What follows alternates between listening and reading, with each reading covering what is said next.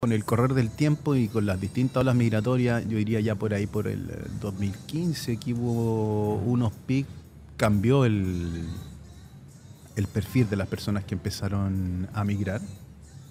Eh, la mayoría de las personas que comenzaron a migrar venían de una zona particular eh, de Colombia, que es la región del Valle del Cauca.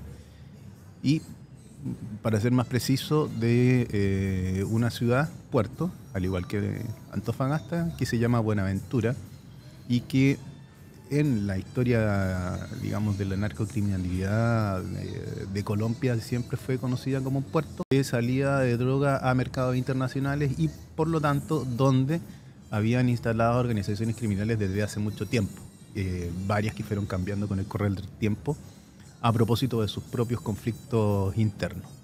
Y muchas de esas personas ingresaron a nuestro país, eh, algunas eh, con sus respectivas visas de turista, ¿cierto?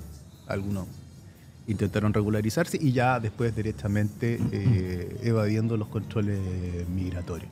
Y eso hizo que estas personas se fueran instalando también por temas de, de recursos en estos mismos campamentos y comenzaran a replicar lógicas de control territorial que eran las mismas que utilizaban en sus países de origen.